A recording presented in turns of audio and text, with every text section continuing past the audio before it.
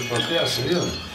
Esse é o Mochuara, uma montanha bem vista de qualquer ponto aqui da Grande Vitória. E ele era uma referência para os escravos fugidos dessa área. Junto do Mochuara fica a comunidade de Roda d'Água. Essa comunidade, todos os anos, no dia da festa da Penha, a primeira, a festa religiosa mais antiga que se realiza nas Américas, né, é, queriam participar como devotos da Santa da procissão de Nossa Senhora lá em Roda d'Água. Só que se eles mostrassem a cara, eles seriam presos, poderiam ser presos.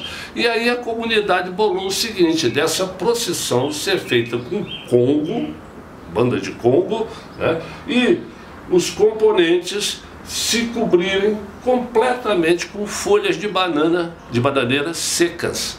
Né. Hoje se mantém a tradição, as pessoas estão usando roupas, né?